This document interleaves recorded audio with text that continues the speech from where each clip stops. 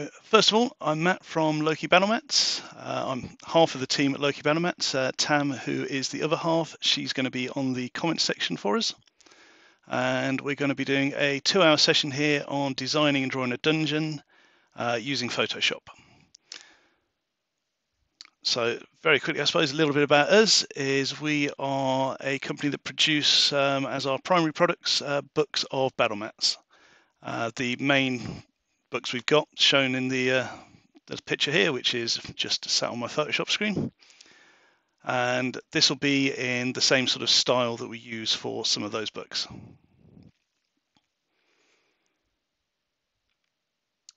So let's make a start.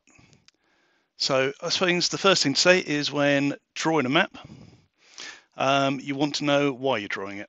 So we're talking primarily battle maps here, so something that's at a scale you're going to use for tactical combat. Um, so the standard scale we tend to work to is the same as most other people, so five foot square for an inch. Um, so your first thing to think, I suppose, is how you're going to be drawing your map. Obviously, I'm going to be using Photoshop here, and this is going to be made for online purposes although I'll tend to work in print quality so that everything can be printed out as well, which is obviously what we do for all of our Battlemap books. So like every other map drawing, I think, we start with um, pen and paper. So what we've got here, if I switch screens, switch tabs, this is a dungeon that we drew earlier this week. Um, this is available up on DriveThru RPG at the moment as a pay what you want title and I've tried to uh, capture every stage of drawing this map to go through and explain how we've done it. And I'm going to use similar techniques as this one to the one we draw in this session. So this particular map started on paper. Uh, I'll see how this works on the screen, but it's just that there, which I have helpfully scanned in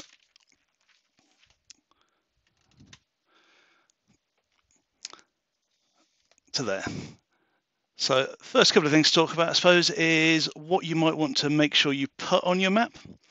Um, so first, knowing what your encounter is or knowing what your dungeon or adventure is is going to be absolutely paramount unless you're drawing something that you want to get reuse out of and you know you're, you're going for more generic um, which we often do in our products because we don't know what people's adventure are likely to be. So generic and reusable is a good thing.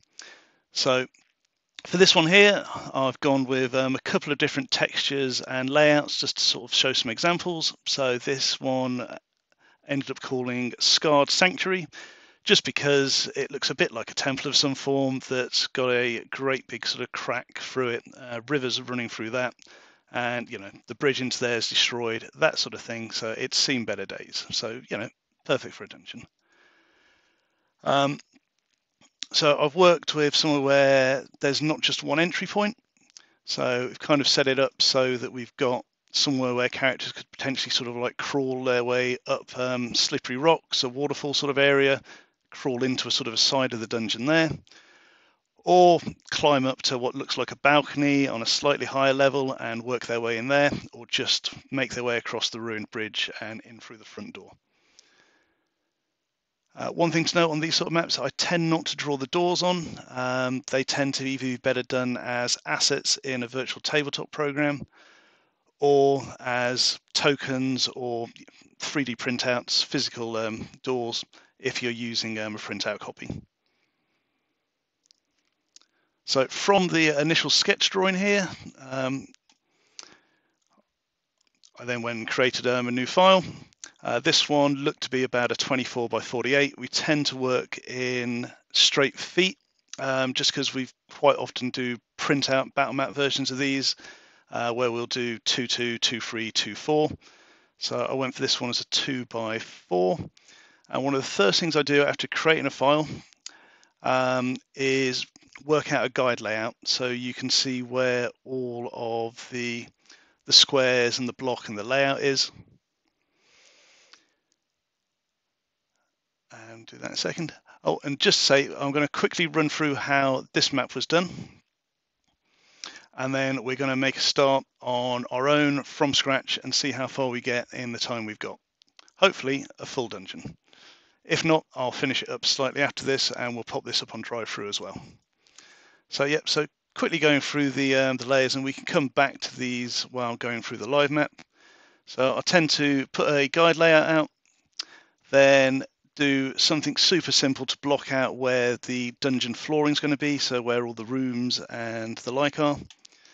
Um, do a simple sketch over the top there. Uh, this is Photoshop. I think that's already been answered as well. Um, I think there's plenty of other um, graphics applications that can do similar. I mean, GIMP for sure is a free version.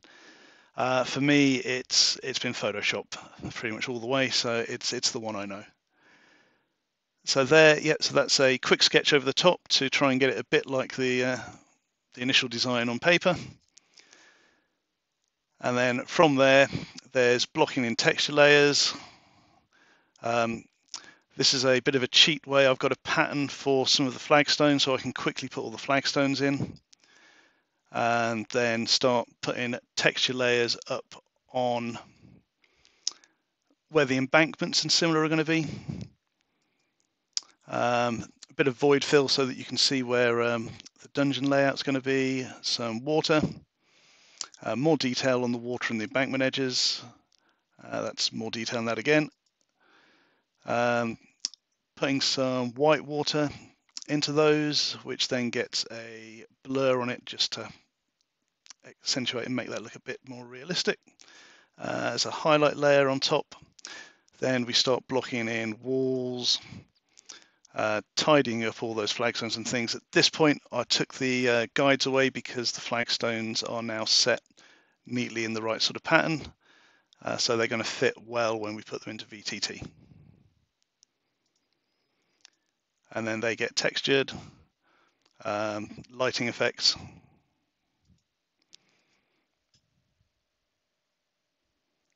Uh, yeah, so for quickly creating the grid, uh, we use a guide layout.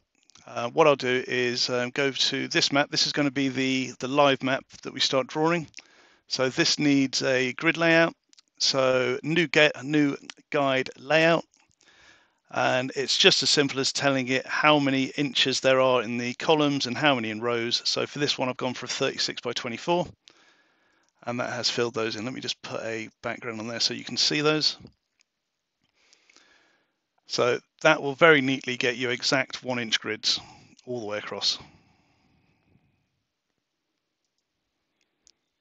And the last couple of bits of this is finishing off textures, putting more colors on the flagstones, uh, adding an outdoor sort of texture to the rock there, uh, added in the bridge and the balcony, uh, put the exterior ruins and a statue in. Those were done from some assets from one of our products. Uh, this is just sort of moss and finishing off, and that's the final layer on that. So let's get to the uh, the drawing one. So what I'll do is I'll get as a new layer of a white layer.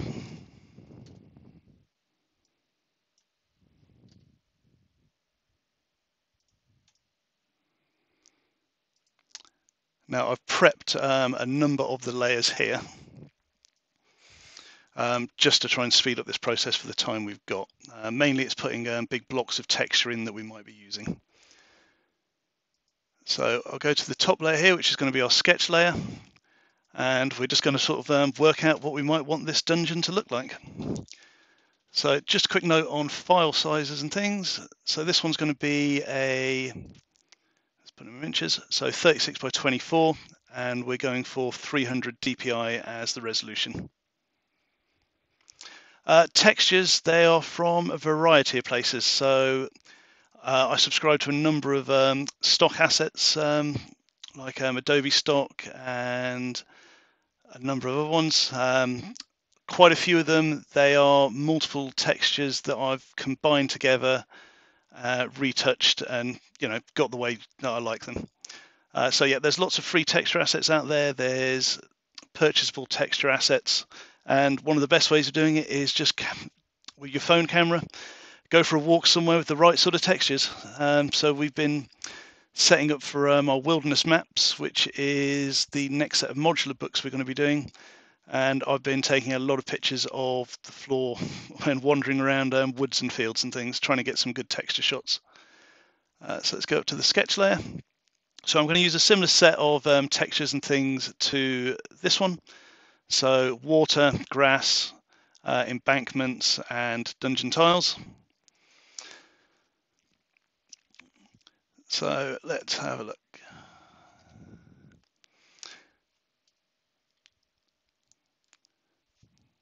Trying to fit everything in in time. Let's make about a third of this map be more outdoor space. So let's just uh, work out where that's going to be. Uh, so let's uh, imagine there's probably going to be an embankment there. Now one thing I do need to do here is turn off snap. So I know you notice that most of the lines are conforming to the guide. Uh, you don't necessarily want that, so you can enable or turn off snap to stop your uh, lines drawing to the guidelines. So we're going to do these as an embankment. Have some water in this middle piece here. Have again some cliff edge stuff here. and then go into a block of dungeon in this interior here. Now, because I know it's going to be dungeon, I'm going to do this as just big blocks so that I can um, block these pits out later. So a new layer. And dungeon, you're going to want a nice big room somewhere for your boss encounter or a fight against multiple mobs. Something where there's a bit of space to move around, get some tactics going. So let's put a decent sized room in to fill a big chunk over there. Let's just grab a color for him.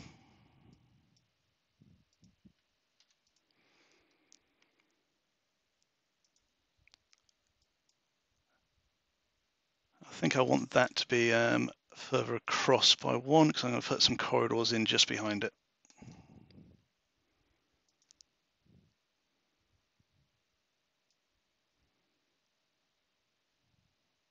So try and get a bit of symmetry by having it um, same height and uh, at the top and the bottom. Make sure there's a couple of little um, dead corners.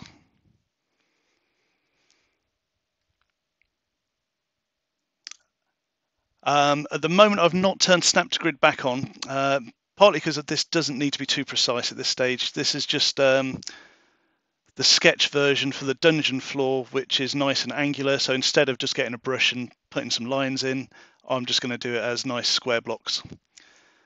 Uh, so it's uh, let's assume there's a ruined room somewhere there. Uh, let's put another room or two down the bottom here and let's have a connecting corridor.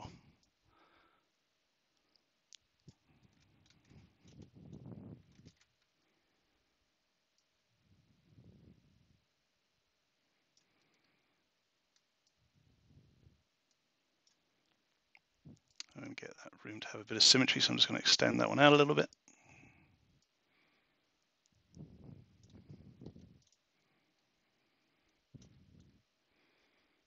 Let's use the space we've got at the bottom here for room. And another one about there. So one thing I'm trying to make sure here is that most of the corridors, the doorways, the entrances and things, there's plenty of um, double spaces. Uh, just so you can get larger monsters to move around and so that your characters, like your party, can move around each other.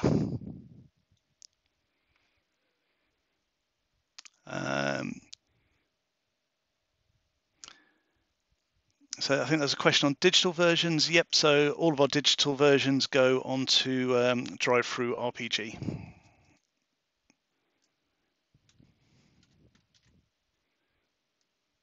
And it looks like there's space for another room up here, so let's uh, tuck one in. Uh, let's have this one have a small corridor, so if there is a large monster in this end room, it's going to have problems moving into here, so players might be able to use that as a bit of a safe space.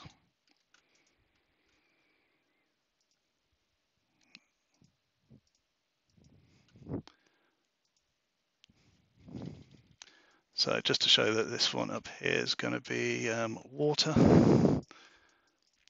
Let's put a bit of blue in there. So that, that's our sketch. Um, we'll have a dungeon on the side of a riverbank, uh, a couple of interconnected rooms inside, uh, place to have your entry into the dungeon, uh, a nice big room for the main fight or skirmish, and a couple of rooms for it to spill over into or to have other points of interest or whatever else you're uh, planning on doing. Um, now, it's nice to put extra ways to get in, I always find. So let's have another broken corridor. Let's have some over here.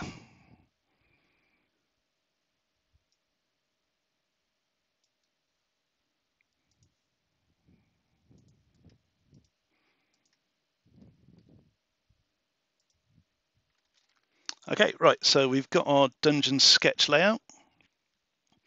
Uh, and if we go back to our examples here, we're kind of at this stage. Let's take that one off. Uh, this stage here. So the next thing I did then on this one was put some base layers in. So this is just big chunks of texture to fill the various spaces. On here, I have very much prepared these earlier. So I have a big bit of base layer there. This is a texture I tend to use underneath um, dungeon tiles. So it's kind of a couple of different shades of brown uh, that work well as the sort of grouting lines between flagstones. So we're just going to take the freehand selection tool and just chop big chunks of this off because we don't need them underneath these areas. In fact, because I'm going to put grass on this other bank, that's a different texture layer, so I'm just going to get rid of this entirely. Hopefully this time not hitting my keyboard and losing control of the mouse. All right, so then I've got a grass layer here. I only really want the grass in that top corner. So I'll take a chunk of that and then just take it off of the rest of the map. So now we know where our sort of under flagstone texture is, where our grass texture is. Uh, I've got a water texture hiding under the bottom here as well, uh, ready to fill this piece in. So what I'm going to do now is take the topmost sketch layer off and on the water, one of those layers is a highlight layer. So that one, I've got that as a color dodge layer. And it's normally set to just a slightly darker um, blue than the average of the water. So setting that on color dodge gives me a nice highlight effect over the water texture, which is a bit duller there. Um, but what I can do is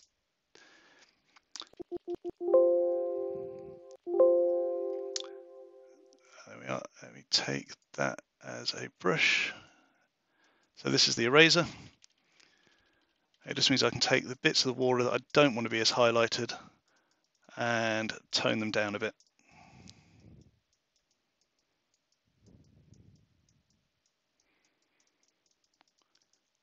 I'm going to try and be quite quick on a lot of these just so we can get through a lot of different steps and not necessarily check every little last detail on each one.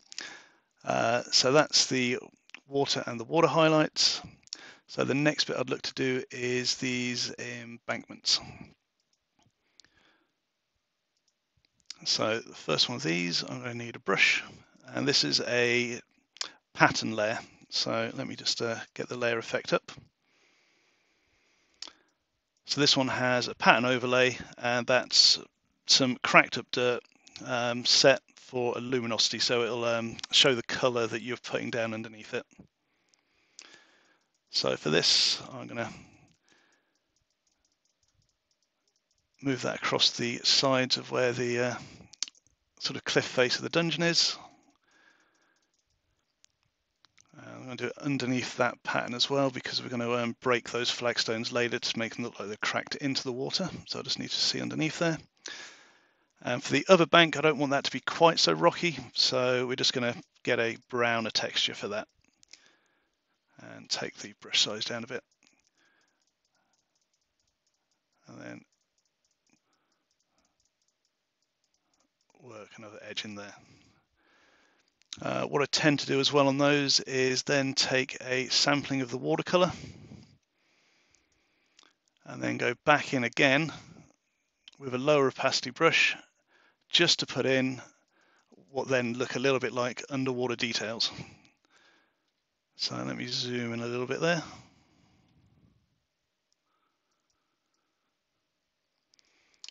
so that those bits of texture, because they're the same blue, they'll fade in and give you a little bit of a submerged look. So just run that along the edge of each of those. And then we'll do the same on the other side. And because it's nice low opacity, it should blend in with the, uh, the upper colours. So that looks a bit more like a river um, going across there now. Uh, what I've got just to add to that is a white water layer. And this is just white lines, just to kind of show where the flow of water might be or similar. And just sketch them in.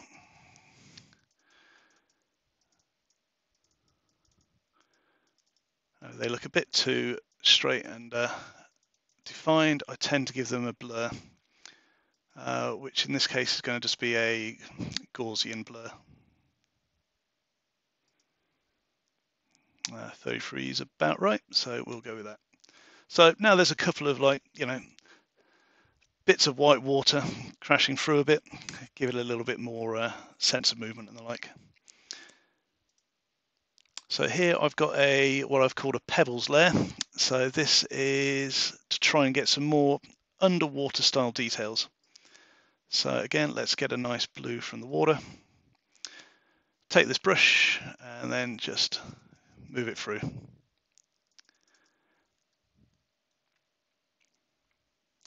Oh, yep, so the um, color sampling in Photoshop, um, the way I tend to do it is just double click on your primary color and it will come up with a color picker, or you can pick color picker from the toolset. And just select and I, I just tend to go by eye so try and get a color that's about right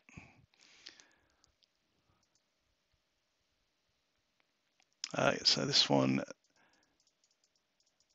may not show up too well on the screen there so I'll just uh, take a zoom in again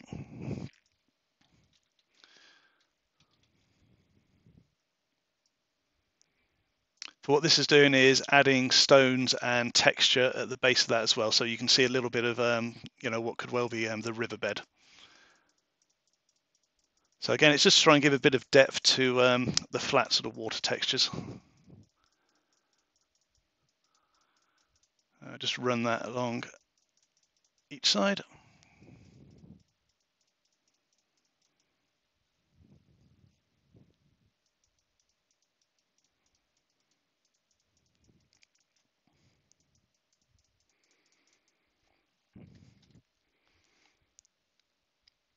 And I've got another two or three sets of textures which will um, go on the edge of these, but I'm not going to do those just yet. We'll do those later once we've got the, um, the flagstone floor going, I think. So for the flagstones, um, what I've got is I've got a predefined pattern um, which will make drawing these nice and quick. So I've selected the areas that we want to be the dungeon floor. Uh, I'm going to hide that layer where we drew those, go to this flagstone pattern layer, and now I just need to pick a color that we're not going to be using anywhere else so I can easily um, select it out. I'm going to go for this uh, lovely bright green. And because I've got um, a pattern layer on here with um, flagstones I've previously drawn, um, and this is a seamless texture. Um, it means I can then uh, let me show you the um, pattern layer quickly first. So it's a custom pattern layer. So I've previously gone and drawn, I think it's a 24 by 24 of flagstones that seamlessly goes off all edges. So if I bring it into here at 100% scale and full normal blend, it just puts it into the design I've got. And I can then rasterize that um, layer effect.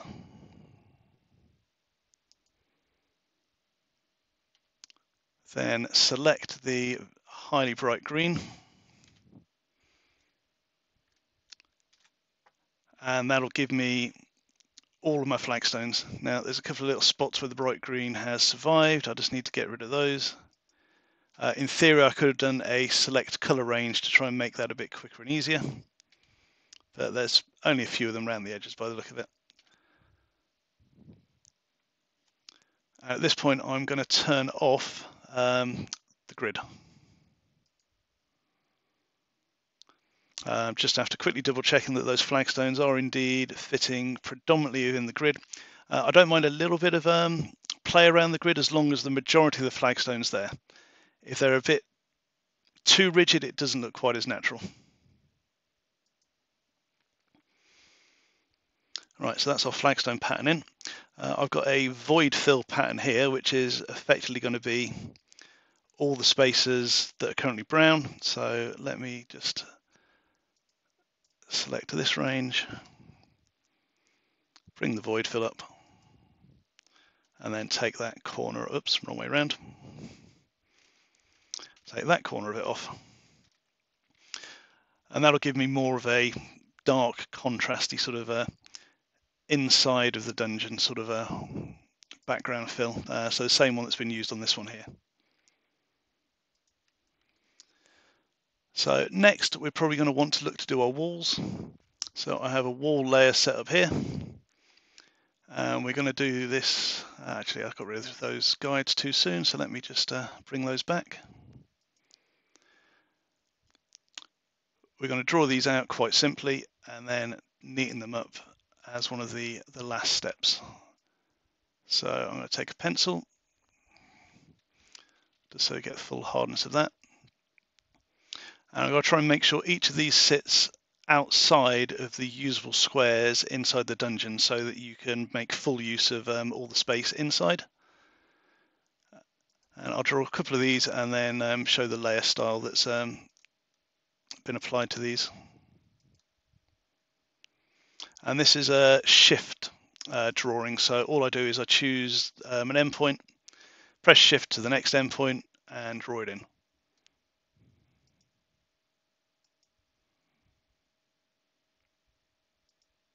With these I tend not to use snap because I prefer it when they are slightly uneven.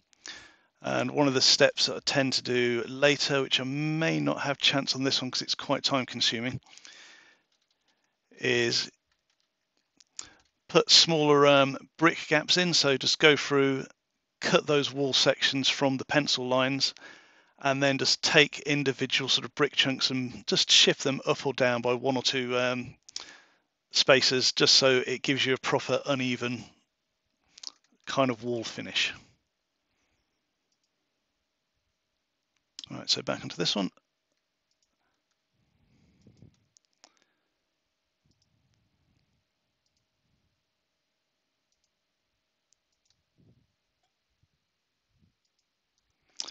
Now that one actually did cut a bit too far in, so I'm just going to take that one out again.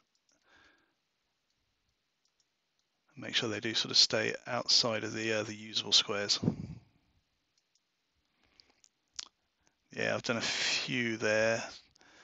Let me tidy those up.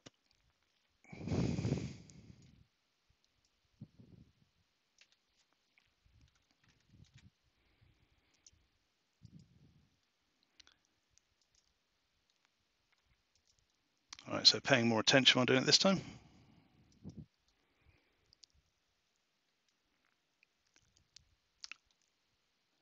Uh, yeah, and many thanks to Tam for uh, answering the chat section. I see some of the messages, but I'm afraid not all of them. So uh, she's got you covered there. And yes, uh, Photoshop is what we're currently using. Uh, I suppose the key is anything that will do layers, layer effects, and should work just as well. Obviously, you can also draw your uh, dungeons by hand, especially if that's uh, what you've got at your table. But for this particular demo, we're going to go into how we do it in Photoshop.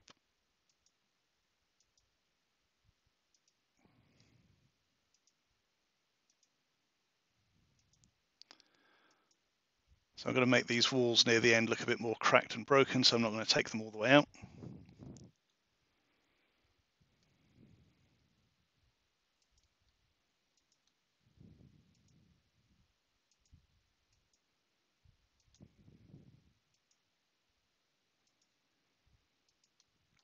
So just a quick look at the effects that are going on on these walls.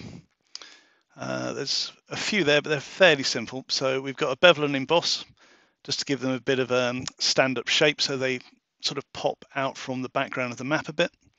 Uh, that's got a texture on it just to give them a bump. So without these layer effects on, it would just be a flat grey line. Uh, so we've got a rocky pattern layer over the top as well, just to sort of again make them a bit more stone sort of block-like. Uh, an outer glow so that each side has this little uh, gradient sort of like um, glow off of it. And a drop shadow, I tend to always do um, light coming from top left. So each of these walls has a little implied shadow trailing off in that direction. And without those effects on, it's just grey lines.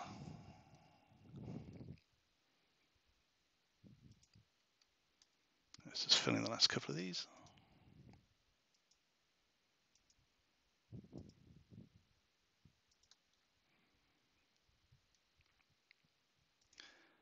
So I suppose another question is how are people finding the uh, online version of a convention?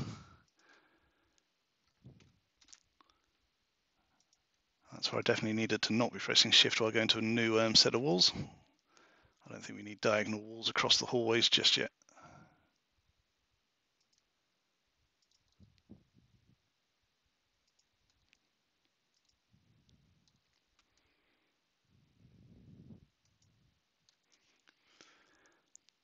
Okay, that's all of the uh, the wall segments blocked in. I'm going to take the uh, the lines off again.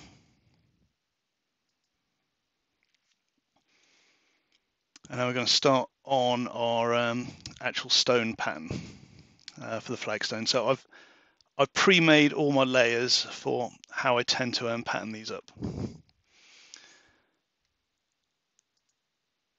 So easiest thing is going to be to take this layer and just move it down onto that layer. So this first layer is the basic sort of like shape and pattern for the uh, the dungeon floor. So let me zoom in a little bit and to show you what the layers are doing there. So with that layer turned off, eventually, yep, um, it's just flat color. I notice there's still a tinge of that green there, so I'm just going to desaturate that layer just to make sure that's all gone. Let me just select all first once it's finished that.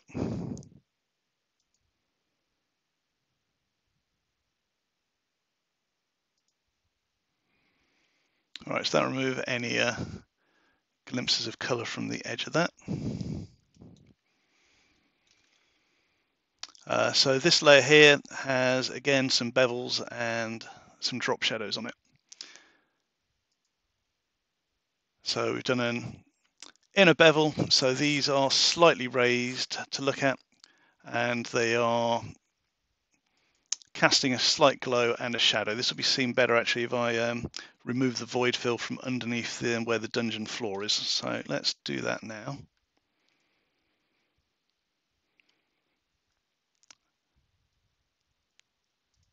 So the easiest way is probably going to be to grab this layer back.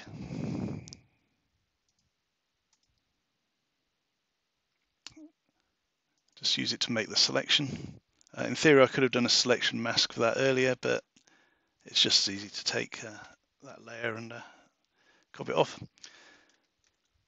So now we should have the um, the grey in um, sorry the brownish sort of infill between the um, tiles instead of the uh, the black that we're using for the void fill.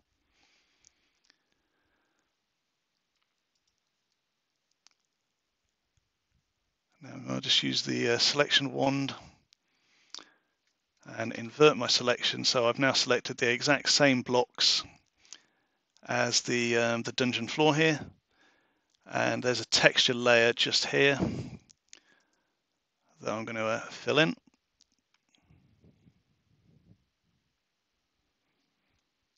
So that adds another layer over the top of patterns. Shall I have a quick look at?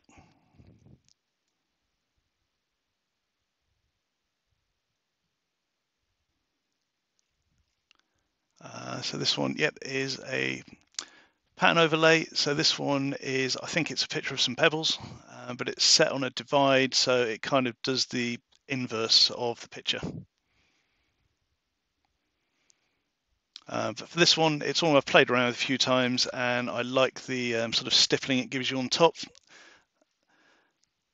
and it helps make them you know more unique per stone as it were. Because uh, one thing you want to try and avoid is repeating patterns whether that's on pattern overlays or you know the actual things are cut out for the drawing itself. We've got two more effect layers here so let's keep that selection mask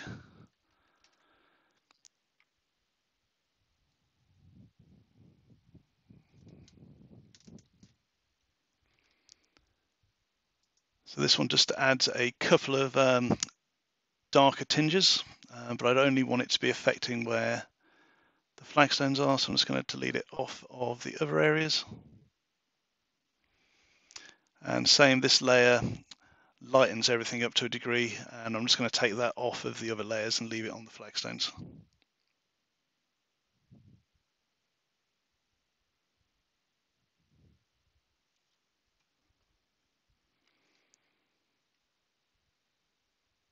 And the last bit I've got on here is um, cracks to add to the uh, individual stones.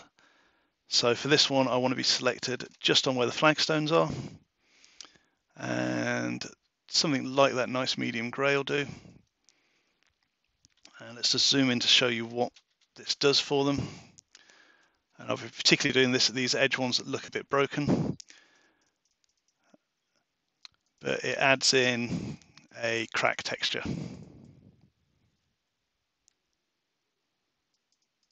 Oh, just trying to read that comment.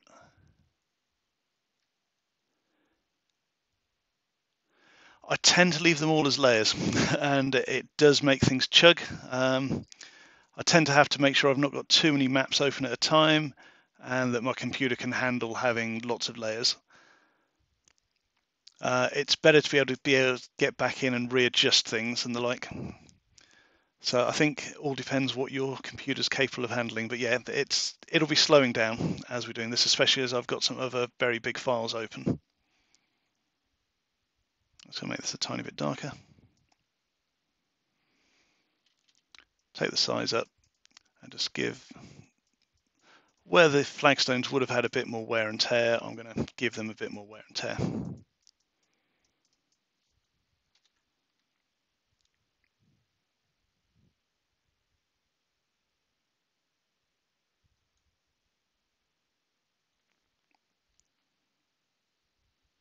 Yeah, talking which we are slowing down a bit now. What I'll do in a second is I'll close off one of the other documents we've got open.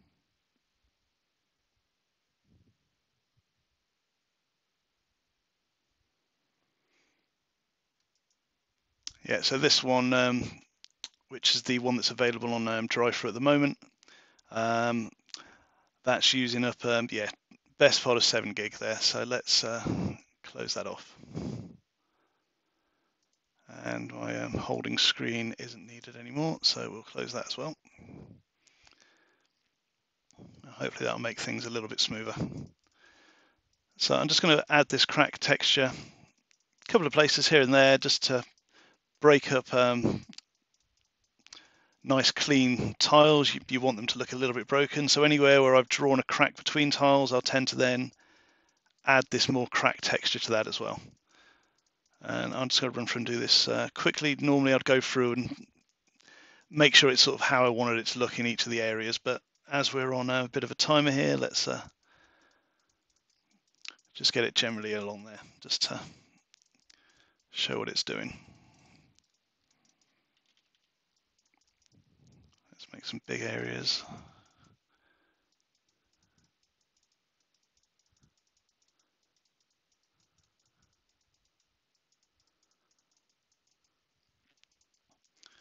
Yeah, so we've varied the uh, textures and things up there a bit.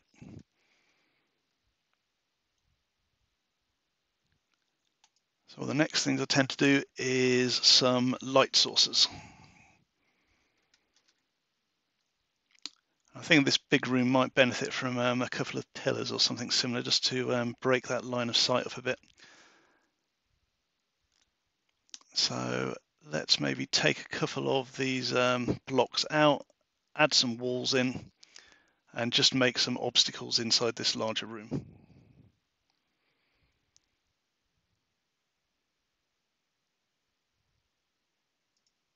So I'm going to get the uh, guide layout back for that.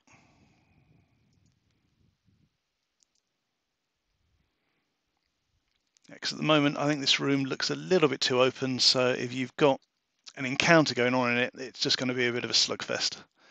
So a couple of pillars should block that out nicely, give characters things to move around. Uh, if we get time later, we'll add some uh, rubble piles and things like that to uh, give some more tactical options. Uh, it might be a good place to put some elevation in, maybe some stairs, that sort of thing. Um, which if we're going to be doing stairs, I do need to chop the flagstones for that. So Let's leave stairs off of this one, just looking at the time, and let's go over a couple of pillars to break up the, uh, the layout of this room.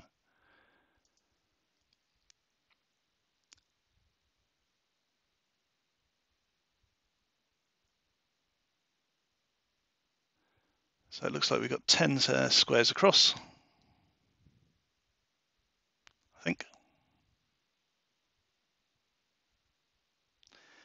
Yeah, so let's leave two open at the end.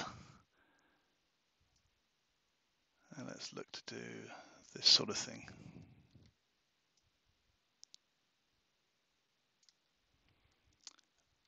Effectively, I'm just going to um, remove those tiles.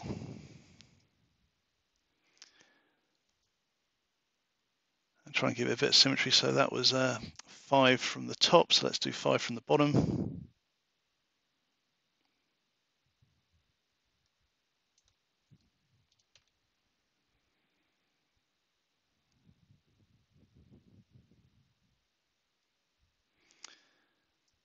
It looks like we've got nine there, so four between each should be about right.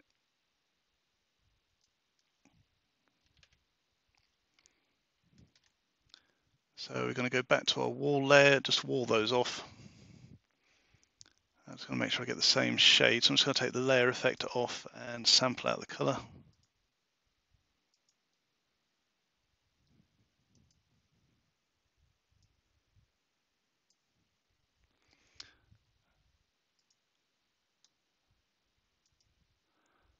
And just make these blocks.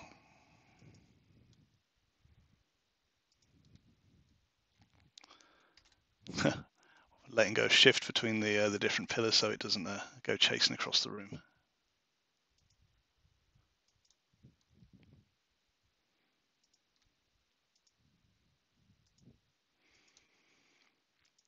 These pillars will be handy for giving us something to um, put some shadows off of as well. Because one thing every adventuring party needs is somewhere for their rogue to hide. Or every dungeon needs somewhere for those uh, sneaky monsters to hide.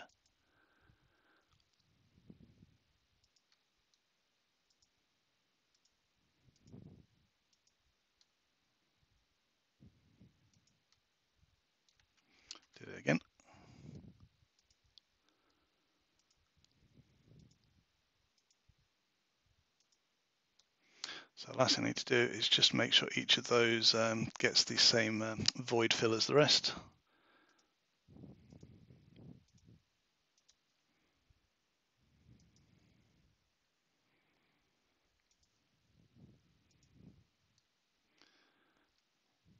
That's the wrong layer, so void fill layer. So they're filled like the rest of it now. So let's get rid of the uh, grids again, then we'll move on to the, uh, the lighting. So for the lighting, I have a divide layer here. And what we'll do is use some gradient overlays and it, uh, easy to show, I think. So that's definitely going to be a point of light uh, coming from the outside gap here. So let's take a gradient with, let's go over blue.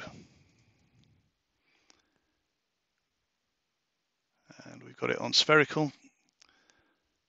Let's change that to linear.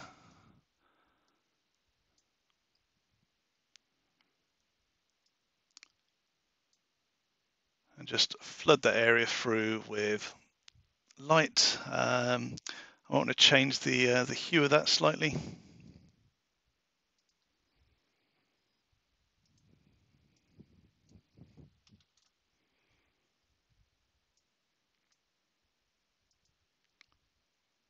And take it down a notch or two.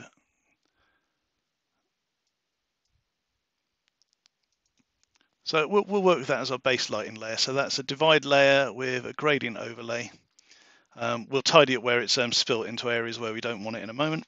Uh, one thing I have noticed is that a section of wall down there that I wanted to be broken and exposed is whole. So let's just take that section of wall off. And what we'll do to keep exactly the same bit of light source for light coming from the exterior is take the clone tool, uh, make it a little bit smaller maybe, and just source that from the same point of light. I'm on the right layer, that'll help. So source that there and then paint that into that room.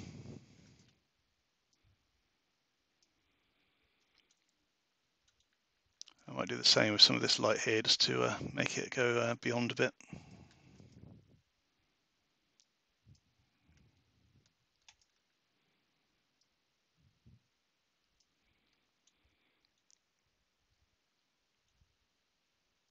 Right, so what we'll do now is we only want the light to uh, appear on top of our flagstones. So I select the area around the flagstones, go back to the light layer, and take that off of those.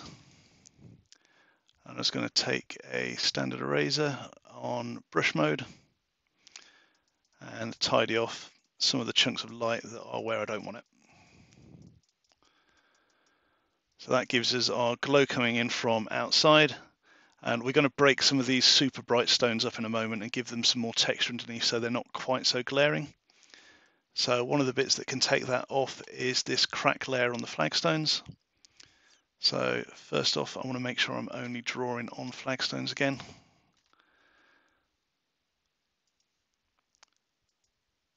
And then a darkish grey. Just brushed over there, we'll put some texture on and make them not just blocks of um, light colour. I'll do the same on those there.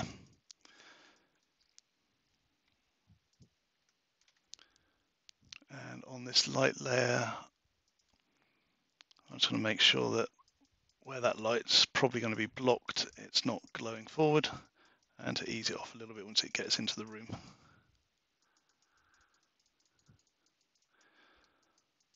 So in theory, that should look a bit more like daylight coming in through the uh, the daylight exposed parts of this dungeon. So what I'm going to do before we do shadows, I'm just going to go in and um, fully break up the edges of these flagstones um, and then take off uh, layers and things above them. So we're going to go a bit closer into those. And let's take off the first chunk just with the selection tool.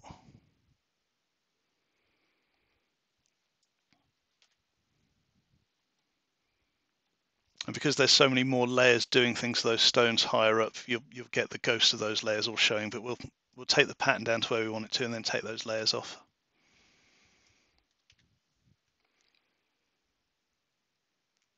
And to do the sort of fine tuning, we're going to use a pencil mode eraser.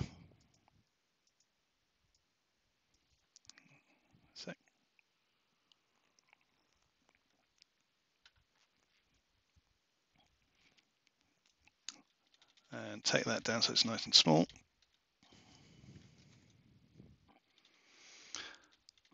And then just cut some of these blocks into smaller chunks trying to avoid sharp edges and the like make it look a bit more um, organic and natural.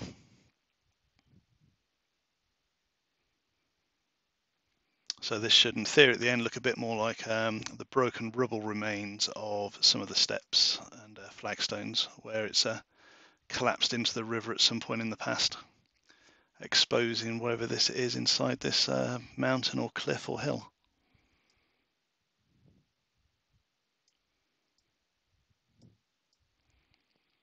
So again, I'm going to go quite quick on these and uh, not necessarily go um, into as much detail as I might normally.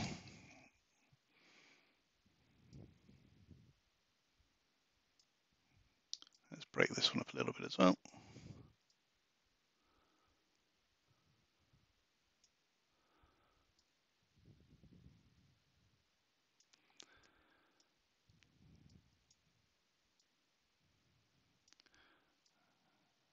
Just don't want to spend too long on any one thing, so let's keep going quick across these.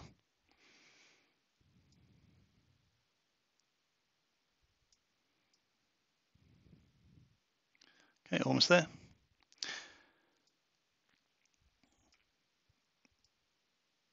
Yeah, so just a quick recap here is the flagstones that are kind of at the very edge of the map were a bit too uniform for my liking. I kind of wanted to um, break them down into some smaller chunks to make it look a bit more like um, the ruined edge.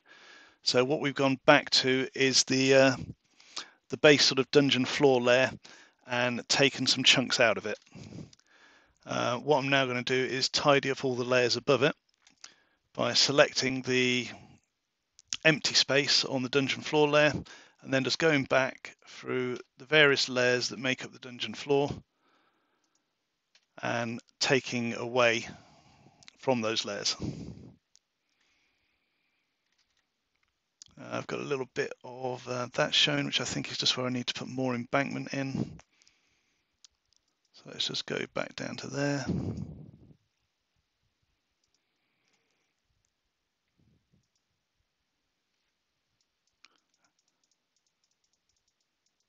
And just fill that in.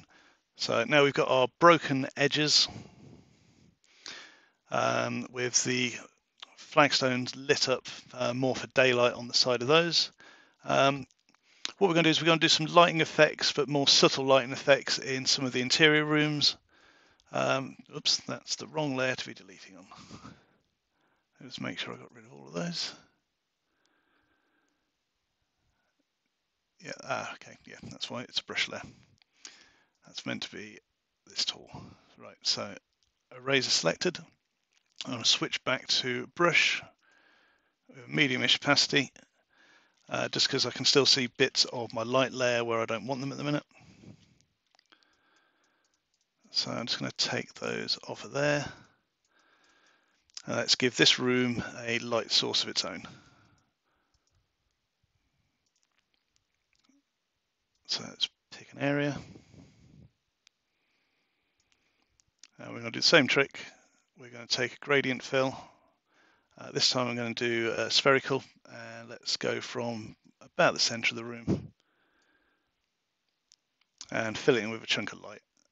Now I don't want it to be that bright so we'll go in and adjust that.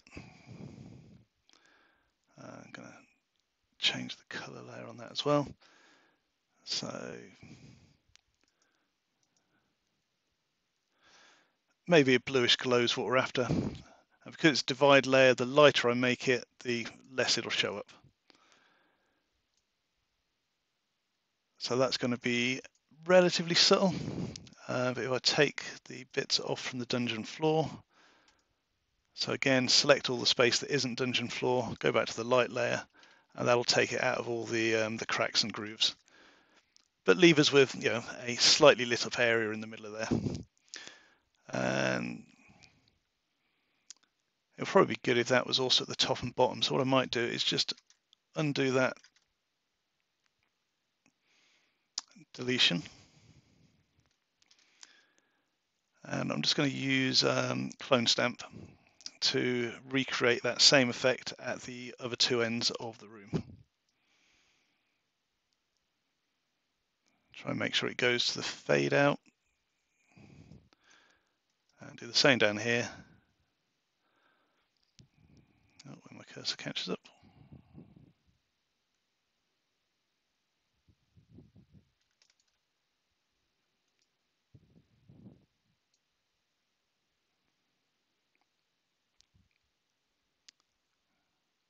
second, that's taking some time. Let's try that again, okay.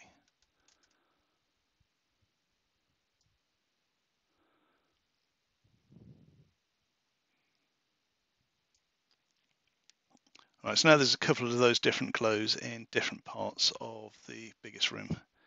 So now we're going to take out the uh, the grouting lines and things from them. So that should give us a bit of variation across all the sort of colours of stones and things. And let's do something similar to this other one room here. Uh, what we'll probably do in another step is go and change some of the um, the colours of the flagstones at the base so that you end up with um, checker stone examples and things. Let's uh, take that layer off. So like um, this room here, they've that's just changing the base stone color so there's uh, patterns on the floor. All right, so we've got a bounding box around this, so let's give that a glow. And again, let's adjust it.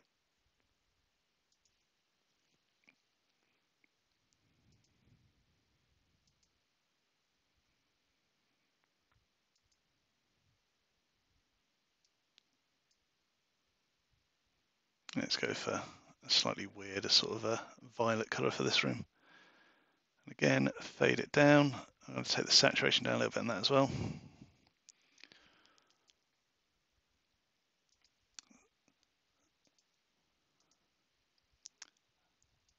And then just take it out of all the, um, the spaces between the actual uh, flagstones. And that one looks a tiny bit too bright, so I'm just going to do a low opacity eraser and just uh, take that down a little bit more.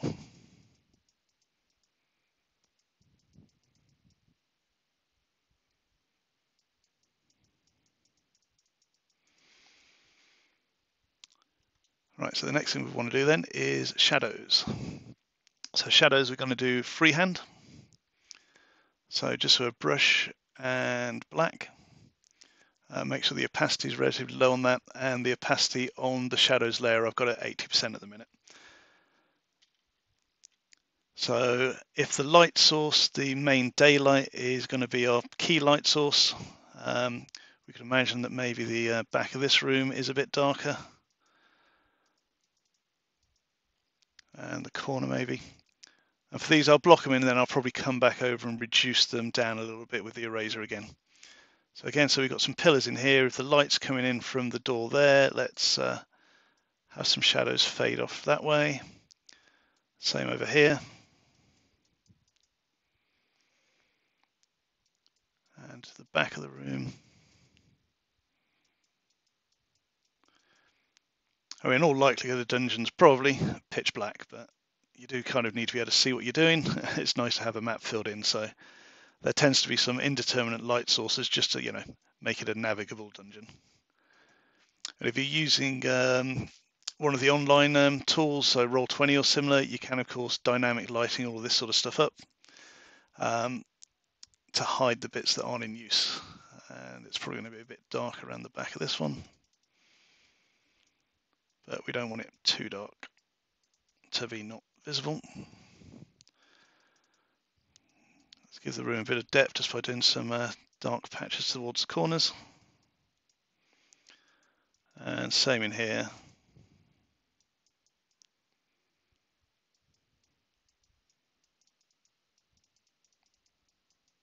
Right, now some of those patches are a bit darker than I would have liked, but that's usually the way it happens. So there's always a bit where you come back in and just trim them back until they look about right.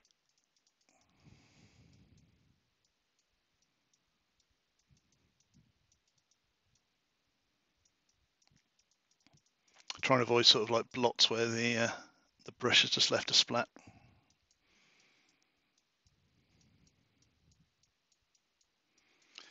So what we're mainly aiming for here is just a bit of variation, tidying up a little bit of atmosphere. I've got some of the light line there I'd like to reduce as well.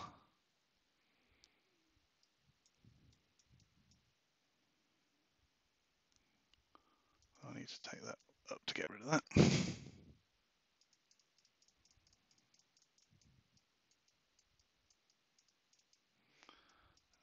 Side.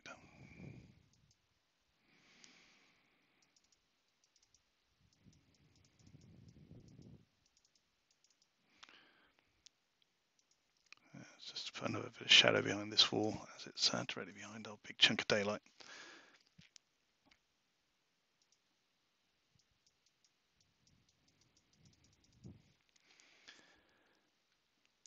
Cool, so let's um, pop a pattern down um, in some colour on the floor in this room here just to show how that works. Give it that sort of, you know, classic hero questy style uh, multicoloured floor. Uh, let's try a green.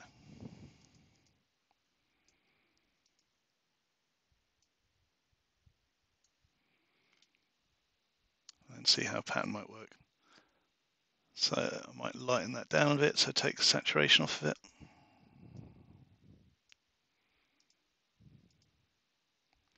Yeah, there we go. And let's fill in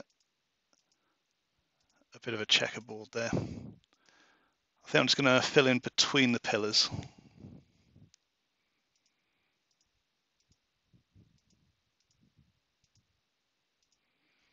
Trying to make sure I get my pattern right.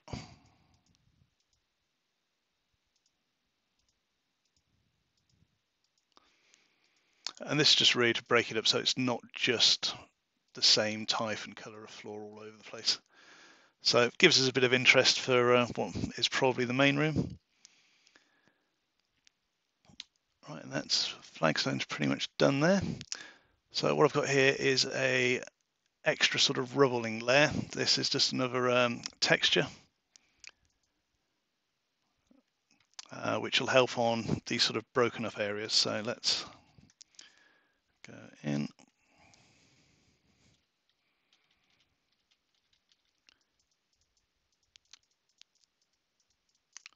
And I'll put some of this on and then we'll have a quick look at the uh, settings for it.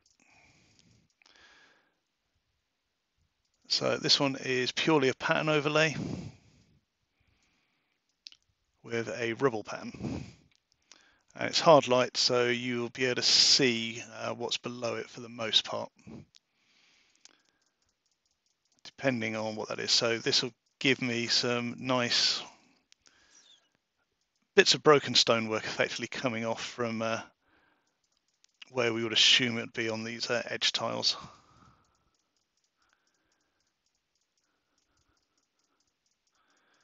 And we'll just scatter that slightly down the uh, side of that embankment and then help break up some of these shapes behind by putting some more of it across those. I also know that some of our cliff is underneath where our floor texture might be, so I'm just going to take that off. So we're back onto the eraser here, and that's just to take that off and put the sort of grout line type colour back in underneath it, which might need a little bit of filling in because it's uh, got some river there. So let's just take a sample of that and stick it over there.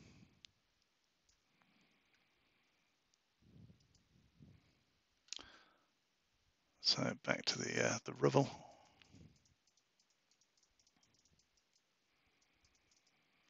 And I mainly want to be doing this around the uh, the bits of um, broken terrain, which in this particular map's just these um, edges that come out onto the riverside. It should help gel in where the uh, flagstones uh, finish and where it goes onto the embankment.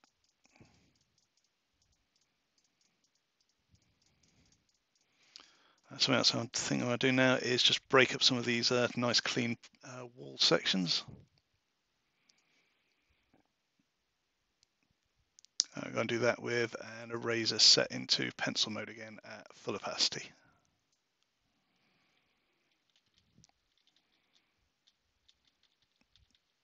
Set nice and small. Uh, obviously, there's no uh, adventure or uh, anything written for this particular dungeon yet because it's kind of been done on the fly. Uh, it'd be interesting to see what people's thoughts are on what you could possibly have here.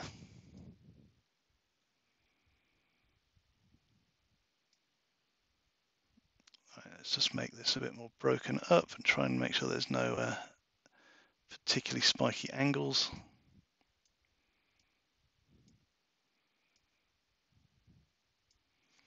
And what we might do there is just take some of those and just move them uh, so they're not quite so uh, uniform.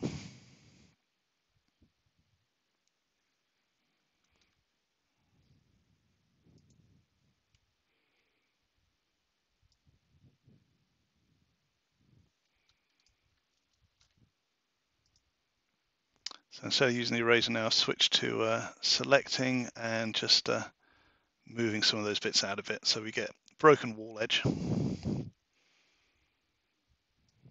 do the same over here. So I'll take that sharp spike off.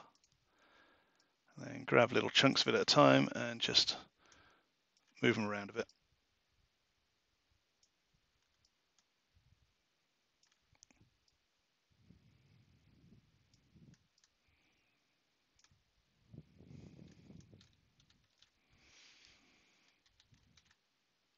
Let's just finish by uh, taking another couple of chunks. So that should give us a nicer broken edge to those walls there. I'll just do the same with these ones up here.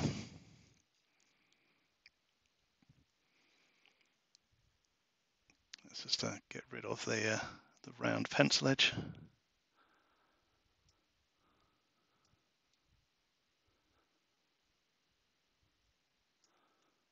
Let's do the same trick of uh, selecting some bits and just moving them around.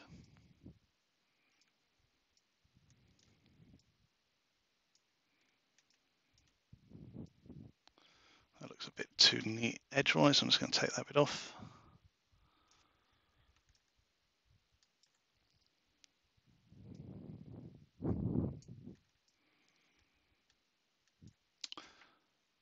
So yeah, it just looks a little bit nicer and neater as a broken wall edge as opposed to just coming to a, a uh, flat stop there.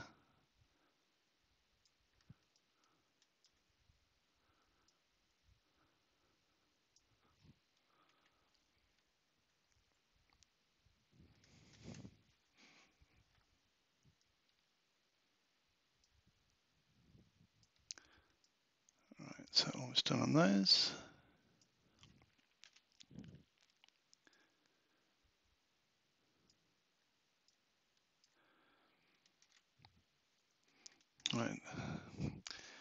Quick look at the whole thing. Another trick you can do is with the uh, the navigator.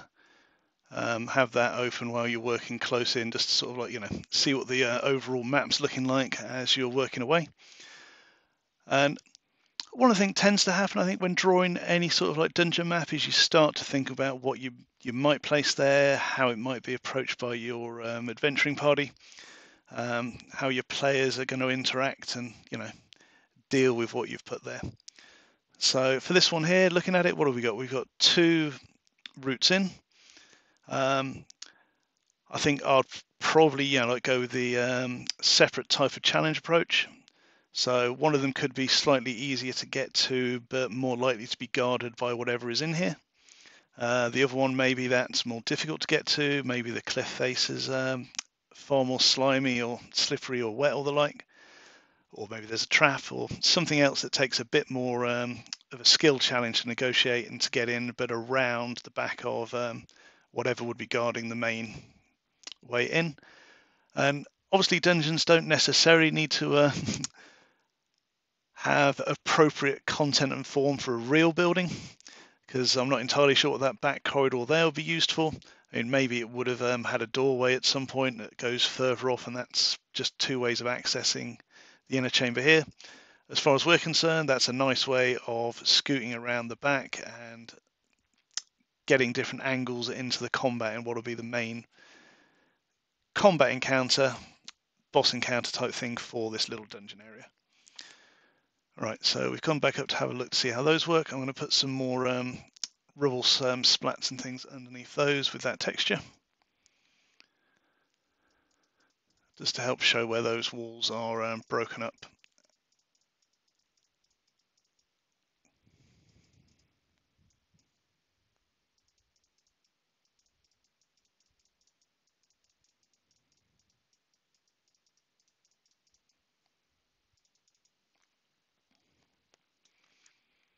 At the moment, I think I might take um, some of the light down here a little bit. I think it's still a, a bit too bright on the daylight edges.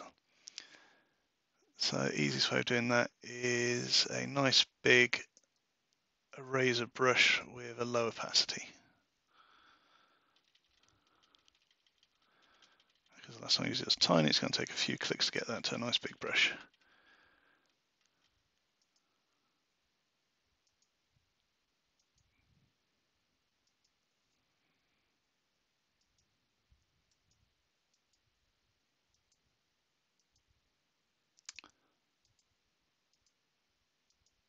Okay, so that's taken that down a little bit, so it's not quite as um, bright and uh, yellowish on the edges. So we're definitely getting there in the, um, the dungeon areas itself. So I'm going to um, go back and do some more work on this exterior and the cliff face and the uh, the riverbank. So here I've got some um, cliff texture um, hiding under the back of there. Let's take that over there out of the way a bit.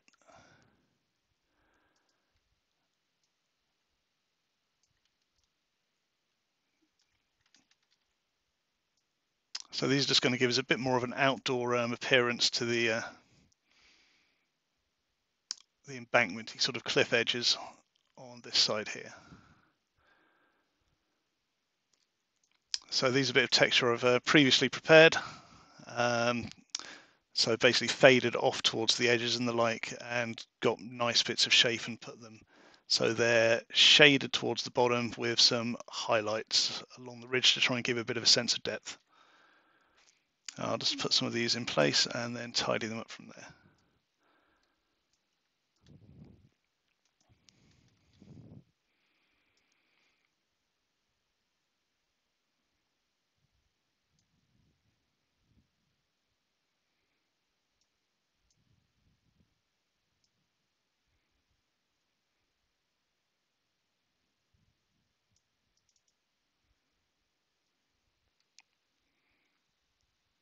Need to find out where those others are. They're hiding behind here somewhere. Let's just grab them out.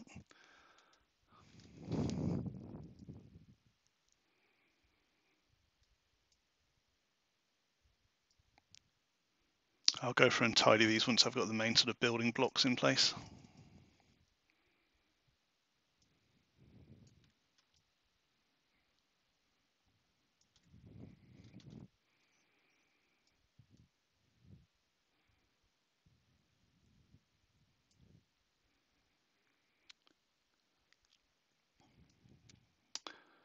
Let's get that to rotate again.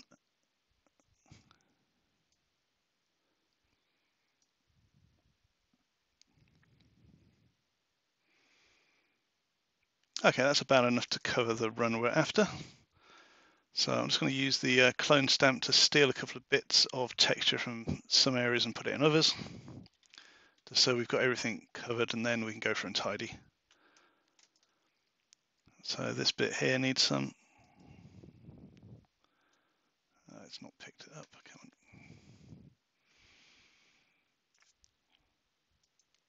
So as the file size gets um, bigger, Photoshop can slow down a little bit.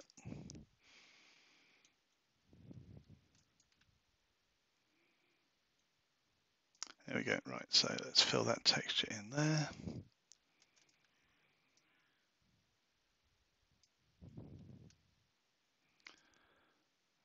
bit just at the end there.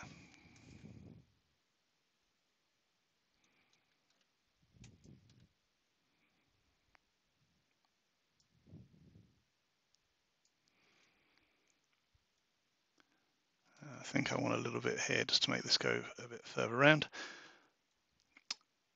So I'm going to use the um, healing one here just to uh, fix up some of these gaps here.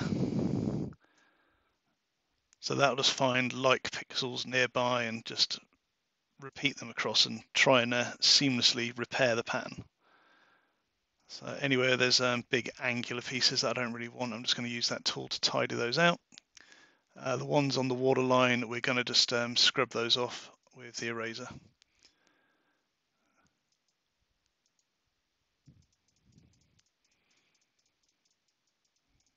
So let's take those off on the river edge.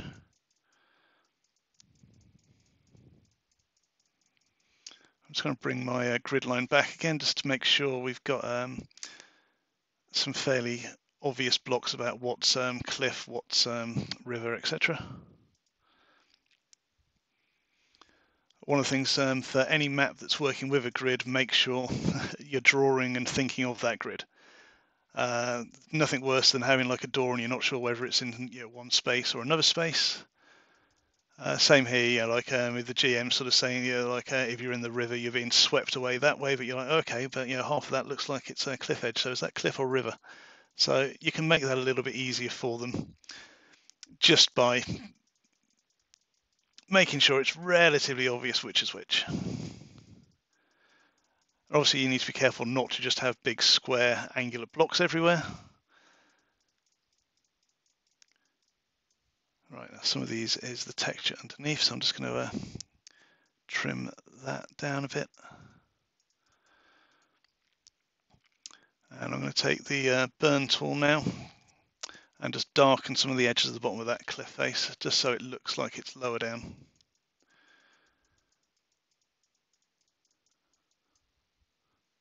And I need to be on the right layer for that.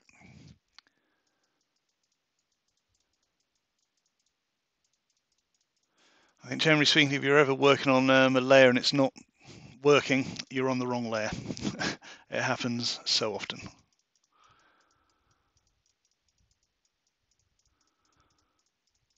So that's darken the edge of those up. I'm going to cut a couple of spot highlights using the dodge tool.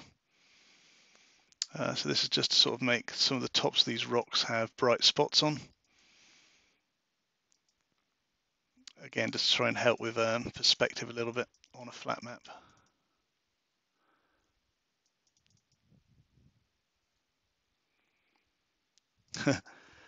this is our first live Twitch. so yeah, forgive any uh,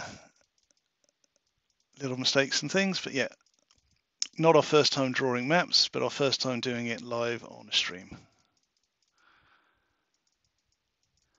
I just noticed that texture hasn't quite filled in there, so I'm just going to uh, re-grab the clone stamp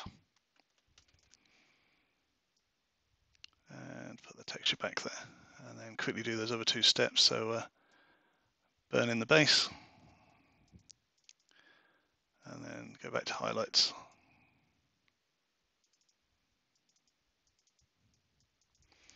So yeah, people will have to let us know if this is useful, if we should do more of this sort of thing. Uh, I believe we've got another definite event planned for the UK Games Expo um, virtual expo uh, near the end of August. Right now they're done. I'm going to just uh, tidy off some of these uh, shapes here so it merges into the uh, void fill sort of cave interior rock sort of texture. Kind of show that these bits are outside, you know, exposed to the elements. And where it goes into the sort of the blacker color that's inside the rock you know the uh, voids between the dungeon walls type thing. So who knows? At some point you know there might have been a balcony or a window here but for whatever reason this bit was out and exposed and the same with this chunk here.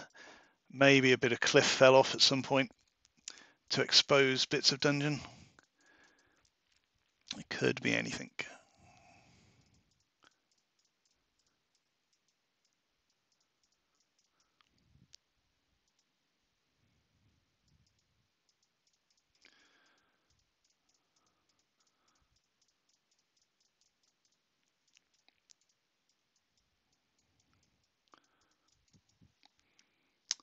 Okay, and let's uh, put some attention onto this other side of the river now.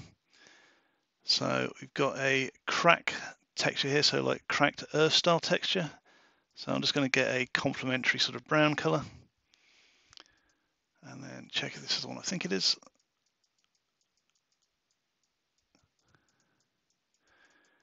Yeah, so it's, uh, let's zoom in, it's quite subtle.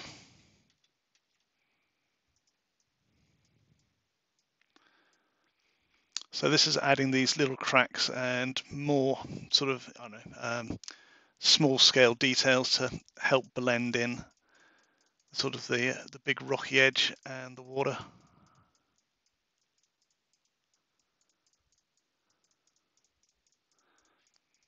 try and make it a little less uh, angular. Uh, we're going to do um, something else later on with uh, what I call uh, a moss layer, so like um, plant edges and things, which will also tidy uh, chunks of these bits up. I'm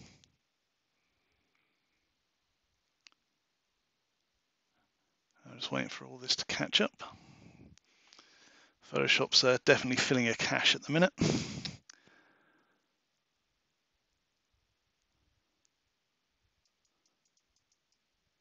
So sometimes I've made this many layers in what's not normally this short an amount of time, uh, I might save off, um, clear some caches and things, and then reopen. But obviously for the stream, I'm going to keep it going. We might just have to wait a second while it um, puts these texture layers in.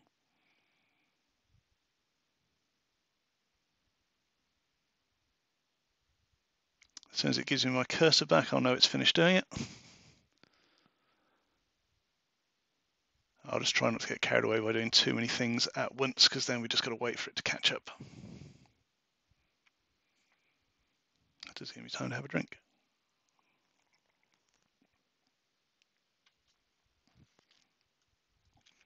So a lot of these um, types of layers and effects and things like that are of what we developed for the dungeon book. So you will see a very similar sort of styling in the floors and things. Still going.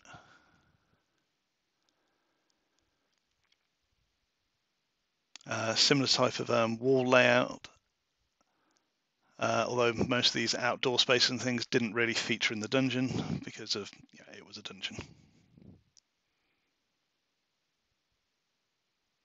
All right, there we go. It's finally finished. So let's put that crack uh, layer on there. I'll do a few more, but let's just do it in small increments so it doesn't uh, backlog like that.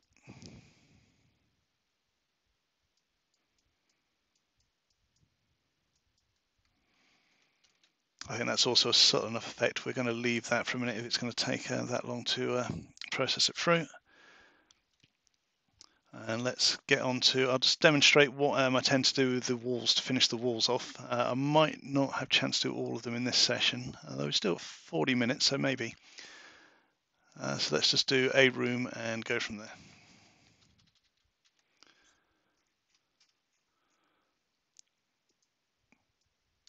Tend to take just a little slice and start making um, brick chunks.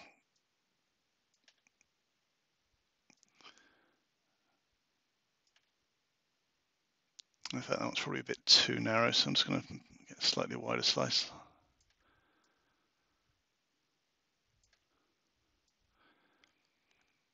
And also, it'll take a little while to do this for all the walls all the way around.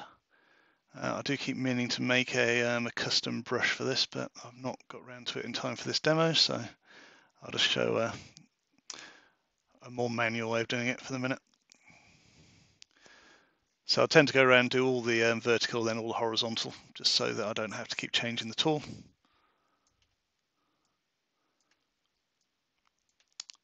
And doing it by hand, you end up with relatively uneven bricks, which is kind of what I'm after. So I'm just going to do this one room. And then if we get chance, I'll uh, do some more of the rest uh, before the end.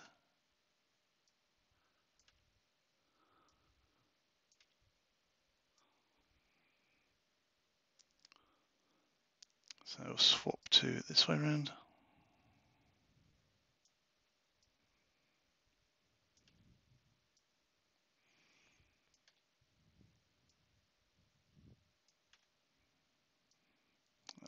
On bricks. Let's divide that up a little bit again.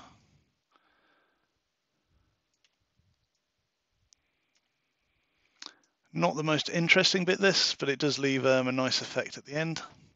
Uh, what we'll do in a minute as well is we'll go and just uh, move some of these around a little bit so they're not all quite so uniform.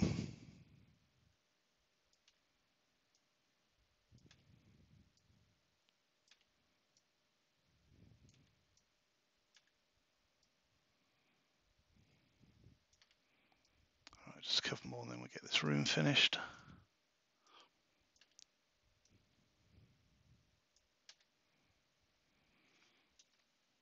Okay, that's the majority of those slabs there. So just do a selection wand and just control cursor to move selected pixels and just shuffle some of them around so you end up with slightly less even, regular, nicely made walls. It just seems a bit more in fitting with a uh, old dungeon type building.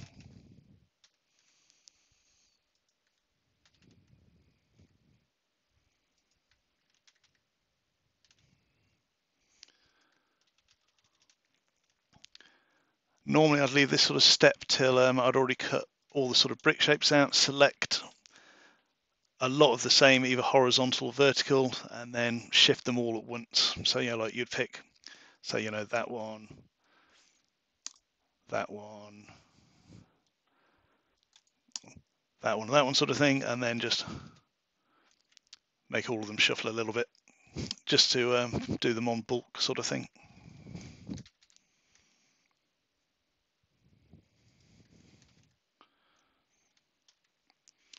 So yeah, eventually you'd want to do the entire dungeon like that, so that you've got the um, the walls and the bricks all nicely defined.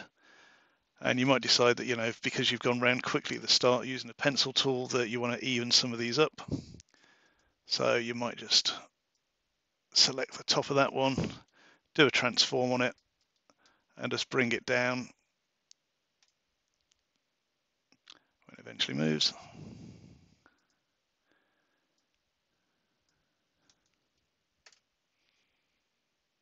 To make a bigger, straighter brick. So I could do the same here to uh, square off the end of this one.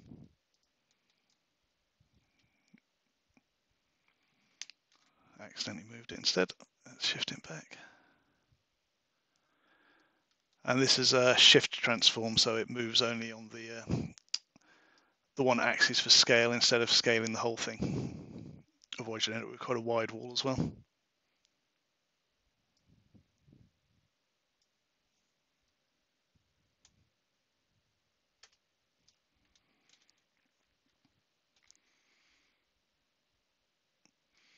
Okay, so we're looking quite good there. Um, I still want to do a little bit of work on the sort of grass outer here and this embankment and maybe put some more um, lumps of ruins and things across here so you know make it look more like this has fallen out.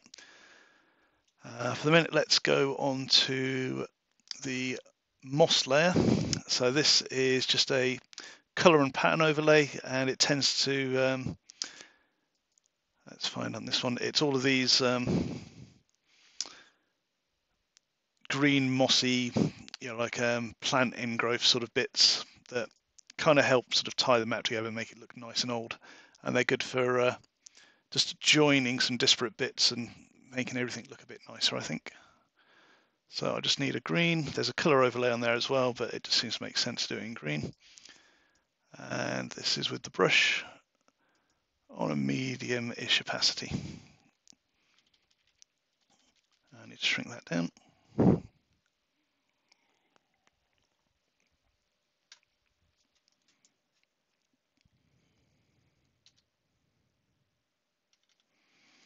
And we'll need to zoom in to get this working.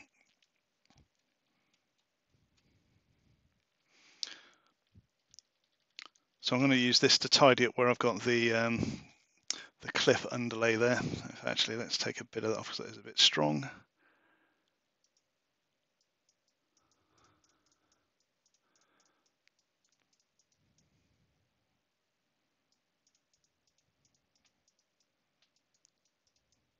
That should do.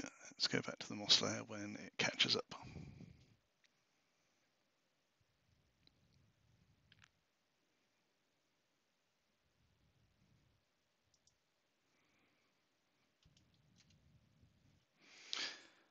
So maybe even smaller than that. So what this one will give us is um, some green plant life.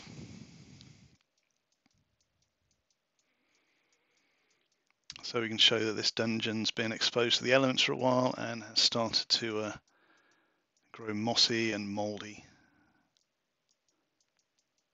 It just gives it a nice sort of aged look. As well as importantly introducing a nice other colour you tend not to get too often. And I can use it on some of these ruined patches to find something in the pattern and if I circle it around with moss, I can highlight that particular lump of, you know, ruined stone. That one's gone slightly over. So I'd want a bit of that shape to show that it's, you know, just there nestled in amongst all the moss.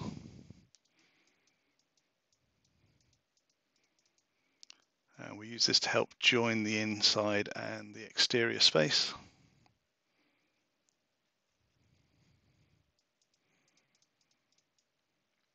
So I've seen a nice um, join line that we missed earlier um, when we were um, speedily putting the, uh, the, cliffs in. So let's do a different way as opposed to blending it with the, um, the healing wand. Let's just uh, make that plant life grow out and down and cover that line.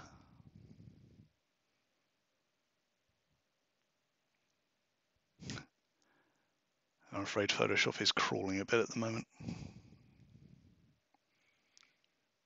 We're up to about a four gig file size on this working file. I think I'll just close off the uh, in example uh, document as well.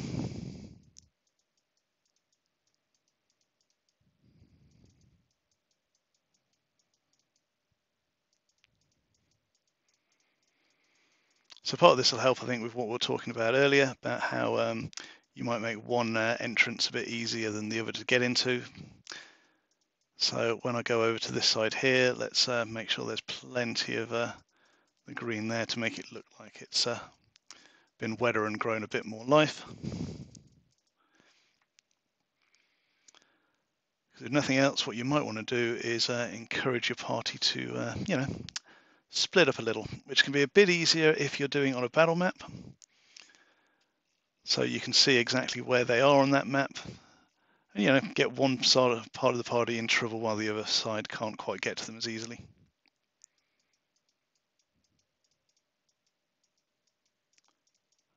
That's one advantage of having more than one uh, entrance into the dungeon you've made.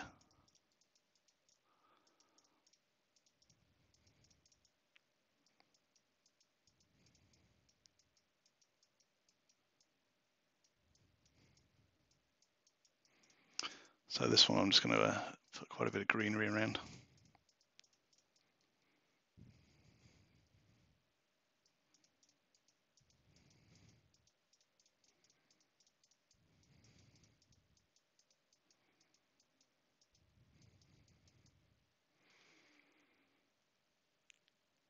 I'm now waiting a little bit for Photoshop to catch up.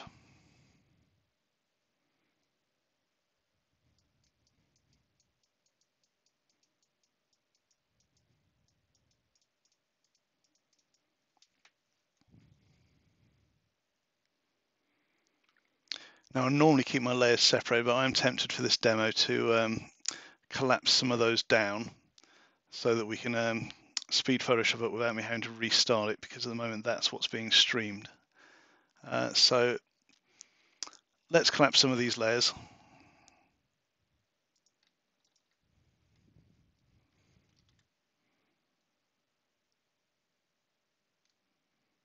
As that will free up some of the system here. Uh, we didn't use that layer, so that one can stay out. Background layer isn't needed.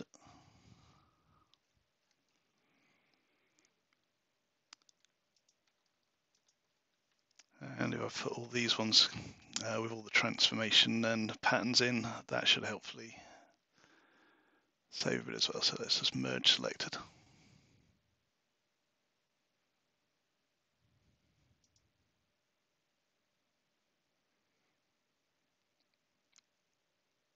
I'm just watching this in full screen just to make sure that merging it doesn't uh, change any of the layer effects final details, which it hasn't, so we'll leave that there. And hopefully that will have uh, taken the file size down a bit and give us a bit more responsiveness for filling in these uh, green lines.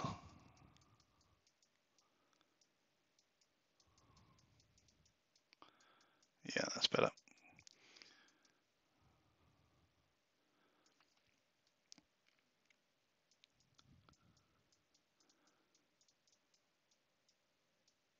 So for the most part, I'm going to mirror where the um, the grout lines and things are. Uh, every so often, I might just take a, a, line of the moss layer and just sort of cut a new bit of pattern from it where I feel it might be better to be patterned up a little bit more and a little bit more broken.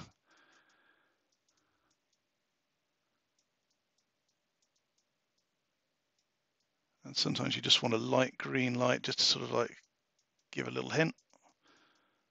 And then other places you might want to uh, go a bit heavier, like here, I think I'm going to tidy up the edge of that bit of rubble and just highlight it around with some of the green. And just make sure I it in by putting similar patches onto the cliffside as well. So it'll look like the same bit of plant life growing down there.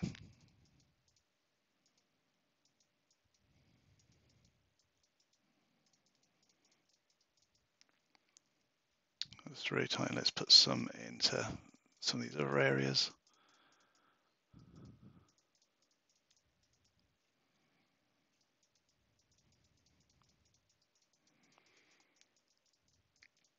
That'll just help tie it all in to the same patterns and things.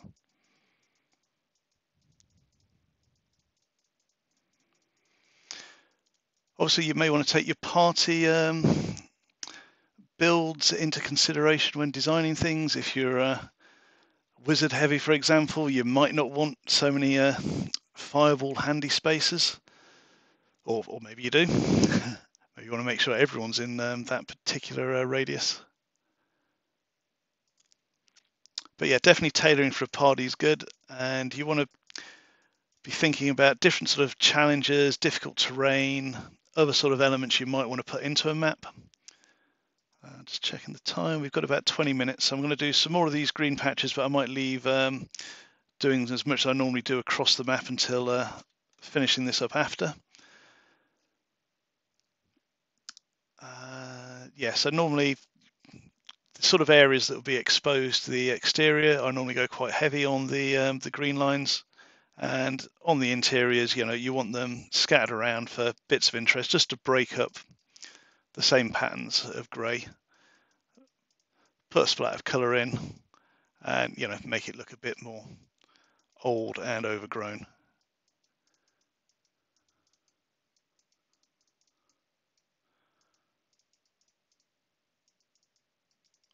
So yeah, just some examples there for now.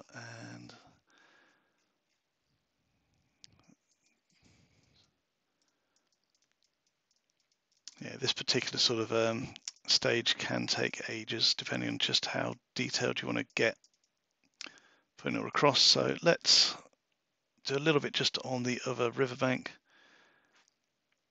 There's also a splat there I need to get rid of where there's a nice round circle. Just check which layer it's on. It's the cliff texture. So let's just uh, make that a little bit less brushstrokey.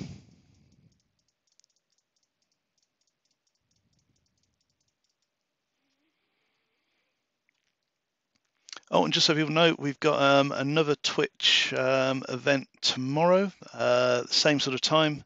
Uh, this is going to be a look through uh, essentially our existing products and our new and upcoming products. And we'll also take a look at some of the stuff that's still very much at drawing board stage.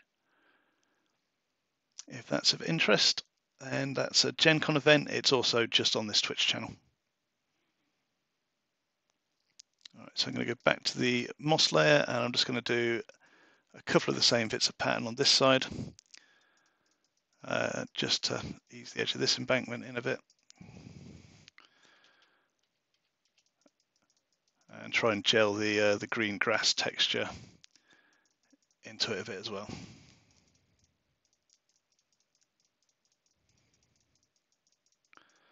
I've gone slightly bigger on the brush here because obviously there's a, a lot more greenery to uh, integrate. Uh, I'm not going to put any trees and things on this side. This is uh, mainly there as a bit of a marshalling area for the uh, the players to set themselves up. And you know maybe you've got snipers somewhere in the uh, the broken tunnel sort of area here. Maybe there's something in the water that's going to um, be problematic for them trying to get across. Having quite so much fun as tentacles in water. I'm just going to take the edge off of that one a bit so it fades a bit with the water.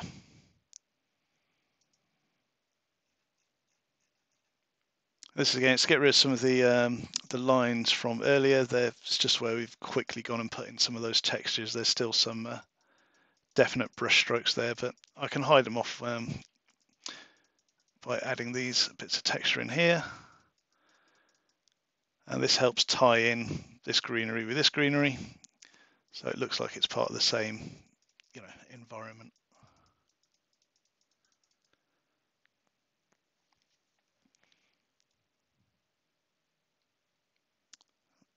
All right, I've got a bit of a straight line there. Let me just find out which layer that's hiding on. That looks through the water layer. So I'm just going to take a healing brush.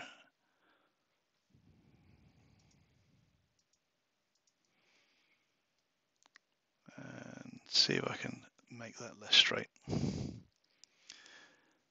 Yeah, so one of the things to always watch out for when using blocks of text like this is if you do end up with um, harsh lines between them like that. Um, what you can quite often do is miss that they're there if you've got um, a grid up because they can be hidden by the grid. So always good to go and check those things through with grid lines off and any grids you might put on the map itself. So for example, I think here I've got a uh, an actual drawn grid that can go onto the map. So for uh, one of the versions, we tend to do a gridded version and a non-gridded version. And the main bit there for that um, is so that we can set how those grid lines work so you don't necessarily have to use the uh, overlays that you get with whatever program you're using. Oh, I'm on the wrong layer here, which is why that's not working.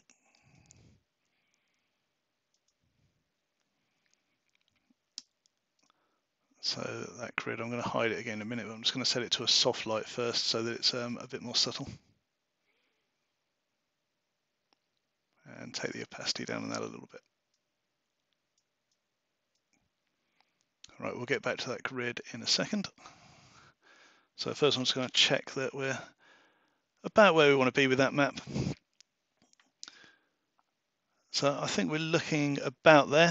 Um, so something that we might do here is go and get some uh, assets. So, you know, pre-drawn things like um, statues, doors, um, you know, fallen piles of rocks, things like that, and add those in.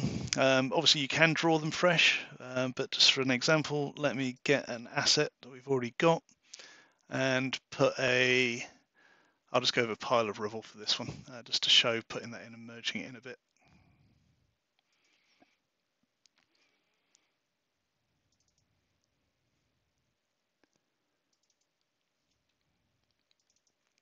So I'm just in Bridge, one of the other Adobe pieces at the minute, finding the file I want. It'll just take me a second.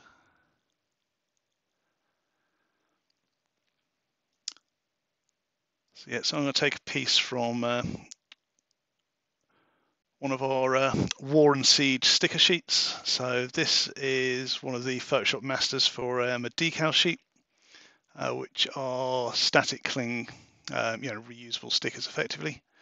Uh, but what I'm going to do, I'm just going to grab one of these uh, rubble piles from here. Copy that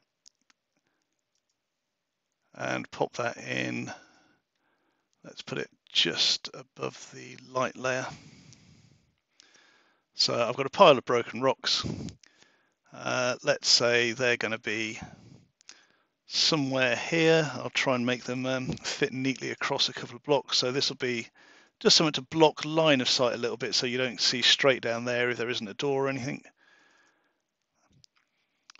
And let's just uh, work on merging that asset in.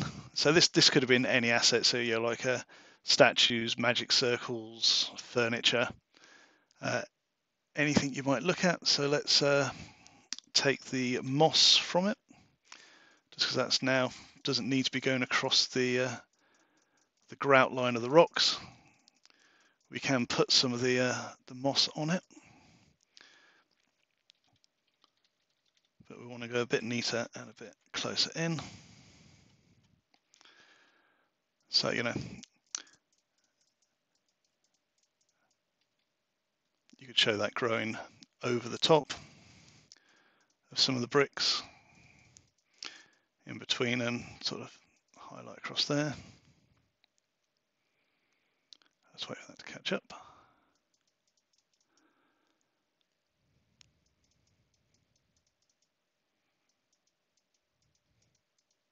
So there's definitely a couple of things I'm not going to get finished uh, during this stream, which is essentially finishing off the walls, finishing off uh, adding all sort of the green moss lines and things. Uh, I'd imagine if that's not done today, then that'll be tomorrow. And then we can post this up on DriveThru. Uh, we'll do the same as the um, the other sample map. So we'll just put it up as a, uh, a free or pay what you want map so that you can grab that as well. Uh, I imagine we'll uh, tweet out about that. So if you're not following us on Twitter, we're BattleMats UK. Uh, it should be across any other social media we've got going as well, or just look for us on DriveThru.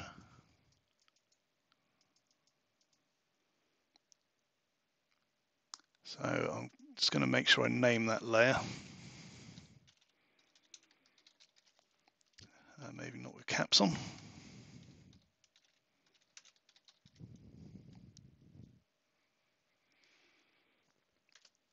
Um, I'm not always as good as it as I should be, but naming all the layers really pays dividends if you come back to work on a map. So definitely the advice, label your layers, group them wherever possible as well, just to keep track of what's what. Uh, so I'm just going to um, use the eraser to take off these um, hard edges from this uh, asset that I've put in.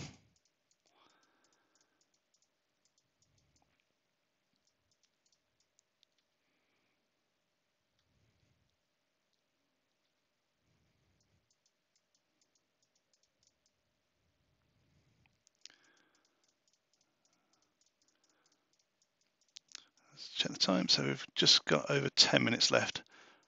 What I'll do is about another five minutes on this, and then I might quickly show one of the um, wilderness maps that we're working on for the next modular book set.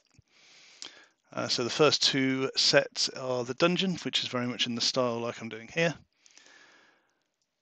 And the next one was towns and taverns, which was more sort of fantasy streets, urban environments, uh, you know, building interiors, particularly the uh, all-important tavern.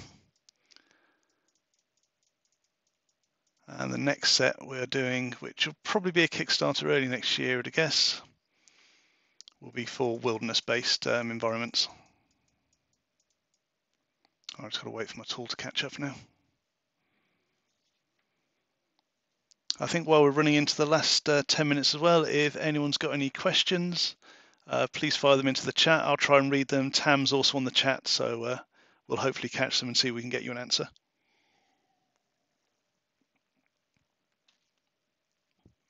And yeah, please do feedback if this has been a useful stream to do as well. As I think we mentioned earlier, it's the first time we've done anything like this, so it'll be great to know how it's gone.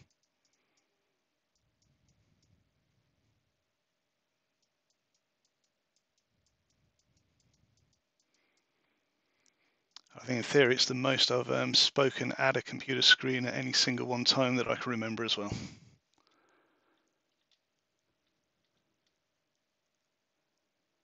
Well, apart from DMing online, which seems to be um, happening a lot now as well.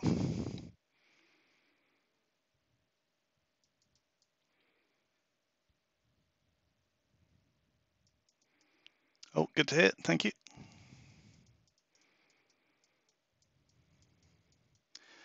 I think we'll try and um, put this together as a bit of a blog post as well with all those um, step-by-step pictures for uh, the other map that we showed near the start.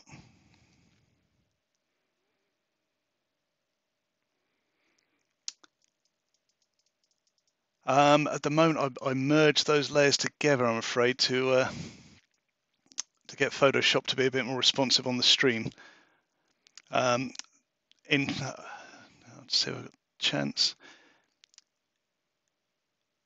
Yeah, uh, what I'll do is I'll quickly just finish off this bit of asset here and then show um, a different file just to show those back again.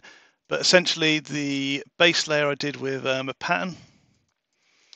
Uh, so I'd pre-drawn a lot of the flagstones up. Then the first sort of bottom layer of those was essentially just bevels and embossers and a drop shadow. Yep. Um, then there was another further pattern on top which kind of did all these um, it's a divide layer so it's um, a bunch of pebbles but it inverts so it just gives you little white sort of like streaks and cracks and things uh, then I tend to have two um, marble textures, one light, one dark, um, both to give different sort of patterns to different areas of the rocks. Uh, that, that's essentially it for the flagstones. Uh, I think essentially you've just got to toy around with different patterns and textures to get something you like. Uh, make sure you either keep a note of it or keep a document with that um, available. Uh, I'm just going to give these a quick shadow to show that they're raised up and then we'll probably save this map off and I'll show one of those um, wilderness ones we're working on just because they're a, a, different sort of thing. So here this shadow layer is actually above the layer with this rubble on it. So I just need to be careful um, where I place it so it doesn't uh, block in the wrong areas.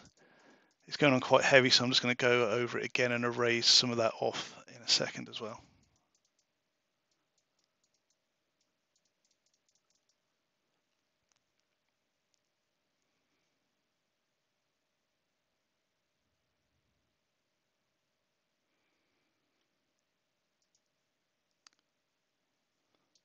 So slightly higher.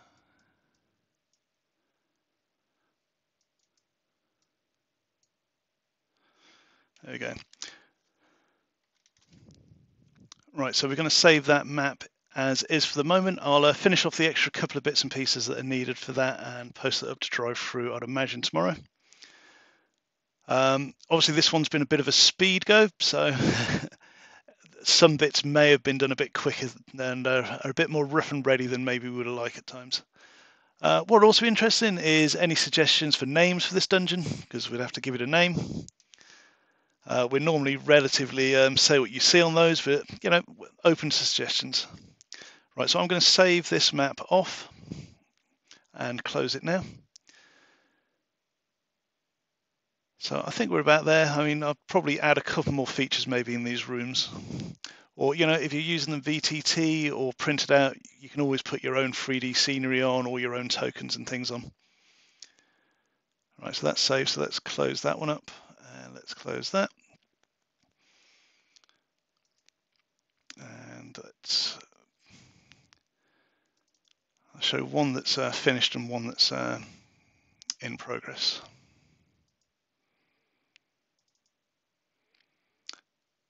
So this is uh, one from the um, the wilderness set.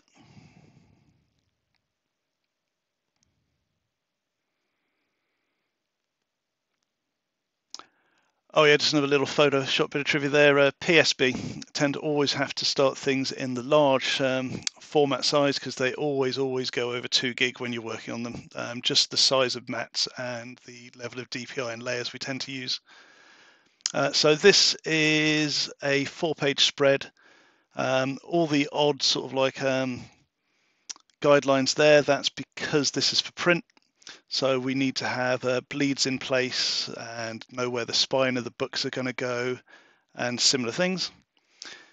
So this one here, this one, I think I've currently got it called um, Grass Canyons. So this is going to be two pages in one book at the top there, two pages in the other book at the bottom. And this one, in theory, you could lay out a bunch of different ways, uh, have your characters moving through canyony type depressions with grass at the top, so it'll merge well with like um, a pure grass page, or sort of tie in neatly with more sort of scrubby desert style pages, which we've got planned and are working on as well. And let's open one that's currently halfway done.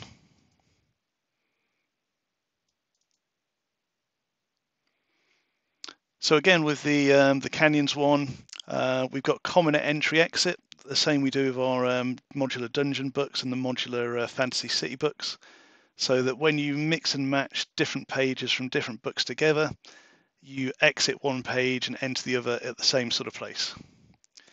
Uh, so this one is going to be four pages of forest. At the moment, I've got two pages mainly done. Uh, this is um, a good example of getting textures and things. So the tree there is a tree we photographed on a walk uh, to um, Nymans, which is a, uh, a, National Trust site fairly near where we are in the south of England, and took a nice picture of a fallen tree that I could then clip out from where I'd take, you know, like exported it and put it onto here as a fallen tree in the map. Uh, got about four minutes left, so yeah, any more questions, keep them going. Um, this one we tend to do tree trunks um, as opposed to foliage because you can then work out tactics where you're going to be under and around those tree trunks. Uh, a bit easier than just sort of putting all your characters on top of the foliage. So this one, we've got this little area here, which is you know a fallen tree and a bit of a gully in the forest, then a forest clearing. Uh, this one's going to have a sketch layer on it as well, so if I just enable that, that's my uh, very informative sketch layer. Um, the grey blots are where tree trunks are planned. The long bit's a fallen tree, and that brown bit there is where I'm planning on putting a path through that piece of woods. So not the most detailed of um, sketches, but it's just there to uh, map out where things are. Uh, one thing that's probably worth uh, quickly showing is, I don't think I mentioned earlier. Um, let me just see if I've got it here. So if you're using Roll20 or similar, you might want to absolutely make sure you get your grid lines and things uh, matched up. And one thing you can do is either really early on when blocking out the um, the sketch, and definitely the end, is put it into Roll20 or you know, whichever um, VTT you're using and make sure it lines up and works the grid. I did take a screenshot of doing that earlier, so let me just grab that and just show you what I mean because anyone who's using VTT at the minute will probably know that you know eh, nothing's worse than putting your map in and having to spend half an hour getting it to a aligned grid properly. So if you are the map maker, doing that for anyone else is going to be great. So this is just, um, I, I, tend to keep a reference game running in Roll20. And in that reference game, I'll put in maps that I'm um, using and I'll measure them up. Uh, we've also started, we've only got one pack up at the minute, but we've started um, as actual content creators on Roll20, so our assets are there now as well, uh, where we've optimized them. On here, yeah, I've gone on and sized the map for the grid. So what you tend to do, let me just show you. So on this one, um, as we're drawing them, the image size will be a 300 DPI and we'll set the uh, sizing exactly for the amount of inches. This one's a bit weird because obviously it's got bleeds because it's a print file. Um, but what you'll do is you'll change the resolution down to 72.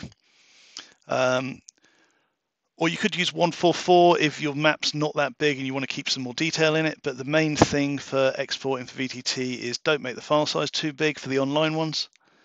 Uh, so for Roll20, I tend to go resolution 72 save a copy like that, import it in, make it the same grid size as the inch size, and it should match up perfectly to where your grid is. So this was me testing the one that's gone up onto DriveThru earlier today to make sure that everything is where we think it should be. And I think we are just about out of time. So thanks everyone. Um, we may see some of you tomorrow for the uh, Q&A session and the look at new products and we'll be doing a similar stream to this again next month for um, Virtual Expo. So thank you all and enjoy the rest of GenCon Online. Thank you. Bye.